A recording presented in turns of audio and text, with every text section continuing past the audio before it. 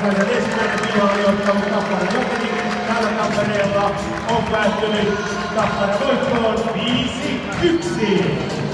Ja näin Tappara on siirtynyt siis 1-0 johtoon ottelun voitoista. Tappara 20 johtoa haluaa kiittää hetkiläisiä Tampereen vierailusta. Kiitokset myöskin teille hyvä yleisö. Ja toinen finaaliottelu pelataan yli huomenna lauantaina taas Tampereella ensi viikon tiistaina 4. päivä huhtikuuta kello 18.30 täällä Hakametsän hallissa. Ja otteluun on ilmainen saa pääsy. Tervetuloa!